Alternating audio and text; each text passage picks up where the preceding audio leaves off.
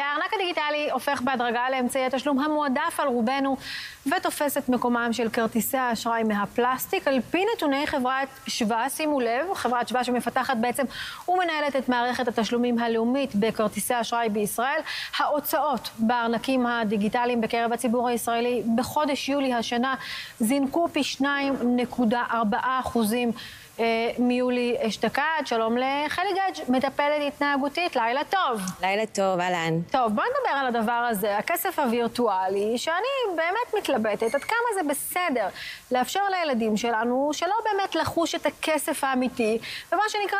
להעביר את הסלולר כל פעם שהם יוצאים לקניון. אוקיי. אז קודם כל, הארנקים הדיגיטליים באמת יש להם המון יתרונות. קודם כל, לנו כמבוגרים, הם מאפשרים לנו באמת נוחות, גמישות, מה שאנחנו מאוד אוהבים בדור הזה, שהכל בא לנו בקלות, עם מינימום מאמץ, וזה דבר שעושה לנו מאוד נוח.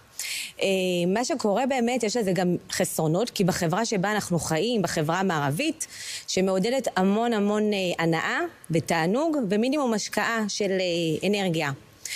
אה, ומה שקורה, אנחנו מתחילים להתבלבל, קודם כל באמת אנחנו כמבוגרים, אה, בין תענוג והנאה שאנחנו מקבלים שזה משהו רגעי, לבין אה, באמת העושר שזה משהו שהוא לטווח ארוך. עכשיו, אם אני כמבוגר יודע להתנהל מול זה באופן אחראי, עם דחיית סיפוקים, מודע באמת למה אני צריך, למה אני צורך, עושה קנייה יותר באמת מבוקרת, רוב הסיכויים שאני אדע לתווך את זה נכון גם לילד שלי. אבל אם אני באמת אה, אחד שמוזן המון מתענוגות החיים ופחות אה, חושב קדימה, אה, רוב הסיכויים שאני פתאום אמצא את עצמי בסוף החודש עם מינוס גדול, לא יודע, עם המון דברים שאני באמת לא צריך, ואני חושבת שככה גם הילדים שלי ירגישו. כן, אז, אז מה את ממליצה בעצם לעשות?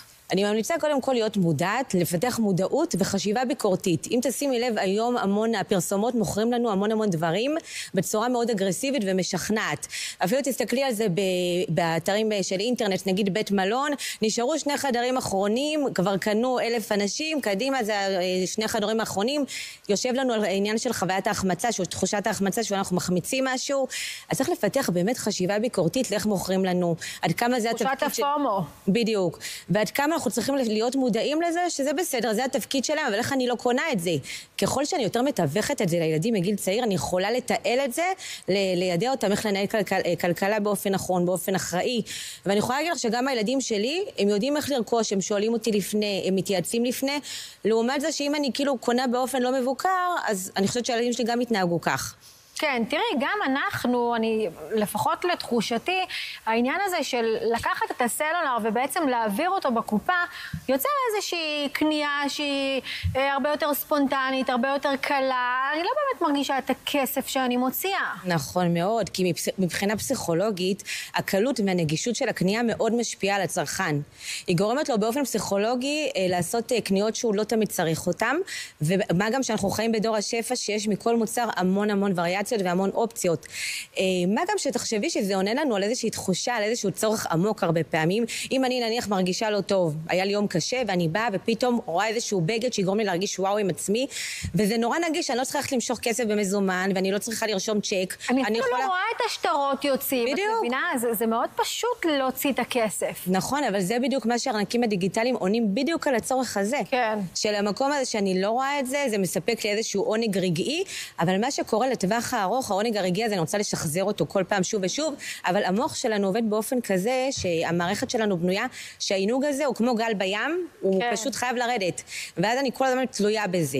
לעומת זאת, אם אני רוצה לפתח משהו שהוא לטווח ארוך, אז uh, מה שקשור לזה זה דווקא לפתח מטרות לטווח ארוך, משהו שאני דווקא יודעת להתגבר על הקושי ורואה בו כאתגר, משהו שאני שואפת אליו וגורם לתחושת אושר, לעומת הקניות שזה משהו שהוא רגעי, כן. ואי אפשר באמת לתת לו סיפוק, אה, צורך למענה רגשי. לגמרי. חלי, תודה רבה, לילה טוב. תודה לך, לילה טוב.